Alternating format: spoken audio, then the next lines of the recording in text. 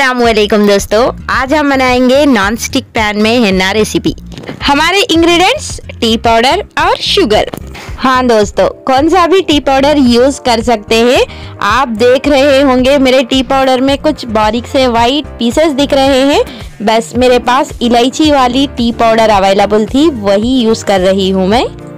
आपके किचन में जो टी पाउडर अवेलेबल रहेगा, वही यूज़ कर लीजिएगा। आज की ये वीडियो मेरे सब्सक्राइबर की फरमाइश थी कि जोया दीदी, आजकल जो ज़्यादा ट्रेंड हो रहा है वीडियो के नॉन स्टिक पैन में नेल्स मेहंदी बनाते हैं नॉन स्टिक पैन में हिन्ना रेसिपी प्रिपेयर करते हैं। क्या वो रेसिपी सच में ही वर्कआउट होगा या नहीं? तो चलिए जी, मैं भी आप लोगों के साथ आज पहली बार बना रही हूँ और शेयर कर रही हूँ। देखिए नॉन स्टिक पैन को मैंने वॉश करके स्टोव पर रख दी। अब हम पैन हीट होने के बाद हमने जो दो मिक्स किए हुए इंग्रेडिएंट्स है, उसको हम डाल देंगे। यहाँ पर आप देख चुके हैं, हमने थोड़ा शुगर का अमाउंट ज़्यादा डाले हैं, क्योंकि टी पाउडर से ज़्यादा, थोड़ा ज़्यादा शुगर ले लीजिएगा। क्योंकि शुगर मेल्ट होते हुए पानी निकलेगा इसलिए। तो अब हम इसके अंदर कुछ पानी यानी वाटर ऐड नहीं करेंगे। फ्लेम को थोड़ा हाई टू मीडियम पर रखेंगे। तो देखें, थोड़ी देर हम चम्मच हिलाने के बाद ये हमारा मेल्ट हो जाएगा। तो दोस्तों, आप लोगों के बहुत सारे फरमाइश के वीडियोस होते हैं। तो कुछ ऐसे वीडियोस होते हैं कि मैंने भी अभी तक नहीं बनाई होती। जैसे ही आप लोगों के अगर सजेशंस हो या रिक्वायरमेंट्स हो के जोया दीदी ये बनाइएगा, वो ट्राई कीजिएगा तो मुझे भी बहुत अच्छा लगता है कि हाँ कुछ न्यू ट्राई करेंगे। उससे किस तरह रिज़ल्ट आएगा? ये देखें मिक्सचर थोड़ा करीब आ रहा है, यानी कुक हो रहा है। हाँ धुआँ, यानी स्मोक तो बहुत निकली। हमारे इंग्रेडिएंट्स अच्छे से कुक हो गए, और ये देखें लाइट से वाटर निकल रहा है साइडों से। इस टाइम पर हम क्या करेंगे? और थोड़ा पानी ऐड करेंगे। क्योंकि देखिए, बहुत कम निकला हुआ है तो बस थोड़ा सा लाइट से हमारे मिक्सचर पे इस तरह डाल देंगे।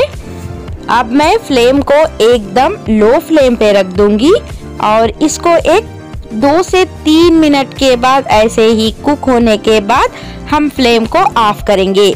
हाँ दोस्तों, इस तरह कुछ मैं न्यू रेसिपी ट्राई करके अगर आप लोगों से शेयर करूँ तो कभी कभी कुछ नेगेटिव कमेंट्स भी आते हैं, यानी नेगेटिव रिस्पांस होते हैं बस मैं उन लोगों से यही कहना चाहती हूँ कि देखें दोस्तों, मेरा चैनल कंप्लीट से हिन्ना के रिलेटेड है तो जो कोई भी, जो वीडियो की फरमाइश करते हैं, चाहे वो सक्सेस हो या ना हो, उसका फाइनल रिज़ल्ट दिखा दीजिए। उस हिन्ना का स्टेन क्या सच में आएगा या नहीं? तो जितने भी, चाहे मेरे सब्सक्राइबर्स हो या व्यूअर्स हो, मुझ पे ट्रस्ट करके पूछते हैं कि उसका फाइनल रिज़ल्ट कैसा रहेगा।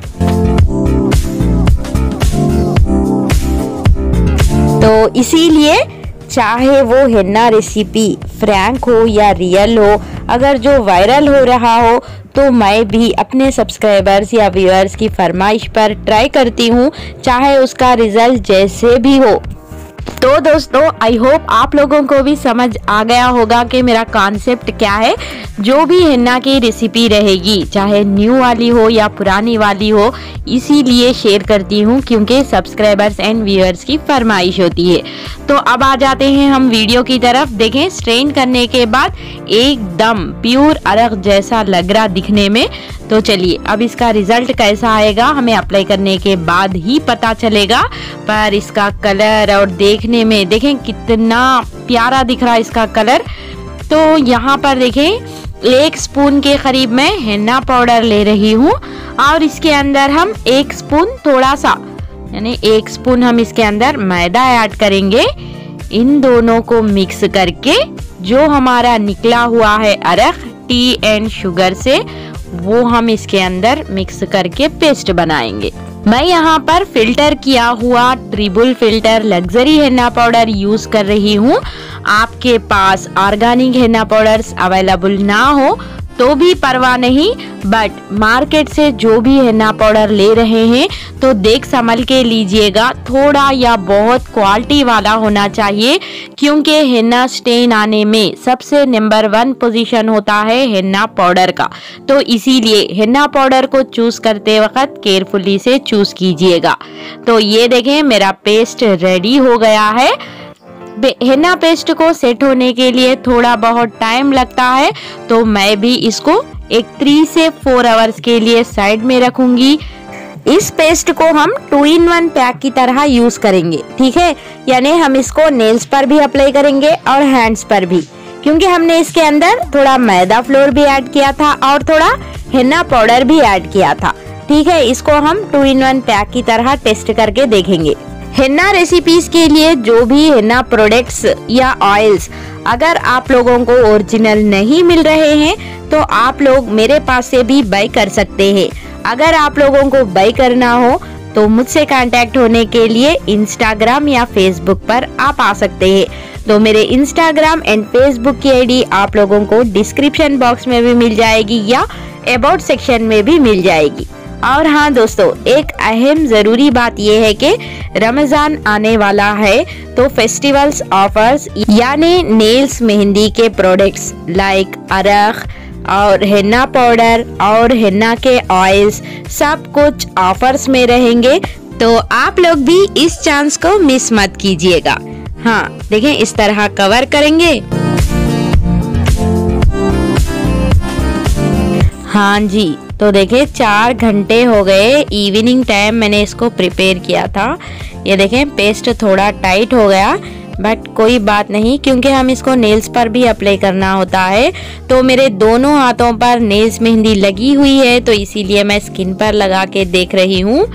यस ये देखे रिमूव करने के बाद इसका स्टेन वाओ अच्छा आया ना?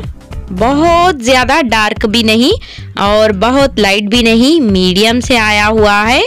तो ये है इसका फ्रेश स्टेन। इस रेसिपी को आप लोग भी ज़रूर ट्राई कीजिएगा बट याद रखें हेन्ना पाउडर क्वालिटी वाला होना चाहिए, तभी हमें फाइनल रिज़ल्ट अच्छा दिखेगा ओके तो देखें स्टेन, बहुत ही प्यारा आया हुआ है। तो आज की ये वीडियो आप लोगों को कैसे लगी कमेंट सेक्शन में ज़रूर बताइएगा। हाँ हाँ दोस्तों जाने से पहले एक मिनट के लिए रुक जाइए, क्योंकि जो नॉन स्टिक पैन है लास्ट टाइम एक रेसिपी बताई, तब मेरे सब्सक्राइबर ने पूछा, ये क्या वॉश होगी? यानी पहले जैसे हम रियूज कर सकते हैं क्या? हाँ इसको हम पानी में भिगा के एक घंटे के लिए साइड में रख दीजिए। बस, एक घंटे के बाद वॉश कर लीजिए। हो गया ना हमारा नॉन स्टिक पैन क्लीन तो हमारे पैन को हम फिर से किचन पर्पज के लिए भी और हेना रेसिपीज़ के लिए भी फिर से रीयूज कर सकते हैं।